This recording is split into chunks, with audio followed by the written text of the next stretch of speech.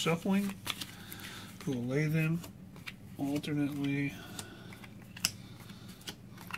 This is for the different divisions. This will determine the division that you're in. So, first team in the Hulkamaniacs division, Matt. First team in the Warrior division, Rick. He's going to be Second upset team in that. Hulk, Sutton. Second team in Warrior, Troy. Third team in Hulk, Brett. Third team in Warrior, Josh. You're going down, Rick. Fourth team in Hulk, Bob Old Viking.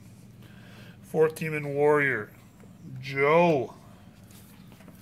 Fifth team in Hulk, Derek.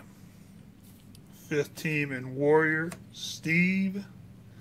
Sixth team in Hulk, Jim. And the final team, Terry in the Warrior. Those are your divisions, your conferences.